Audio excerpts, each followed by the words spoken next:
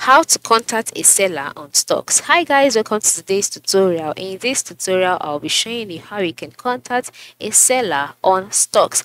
Now how do you do this? The first thing to do is to ensure that you have a StockX account created already and that you've made an order that's whose seller you'd want you'd want to contact. So once you've done all of this, ensure you log in into your account. Once you're logged in, you'll be brought to your home page automatically. Then on this home page, you'll see the um, StockX logo, search bar, and then by the right side of the screen, you'll see the help option. Ensure you click on it.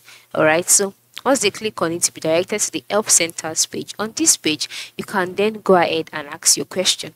So you can ask your question by typing your question in the search box here. But if you did that and then you didn't find an answer just scroll down until you see the contact us option which is located by the left side of the screen here.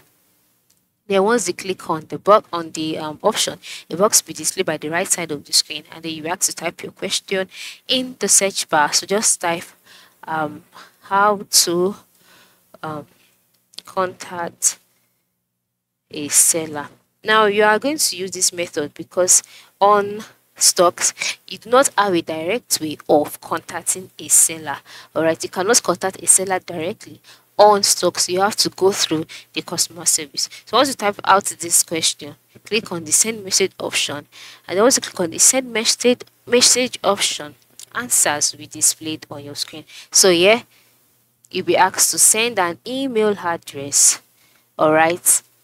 And then you type out your email address here type out the type a description the order number that is the order um the order whose product whose seller you would want to contact all right? The order that you got whose seller you want to contact. And then after typing the order number you can decide to take a picture of the order and then you submit. And once you submit it within hours StockX reach out to you, ask you questions that you would answer, and then you would be directed to the seller if needed. Okay, so this is how you can contact a seller on StockX.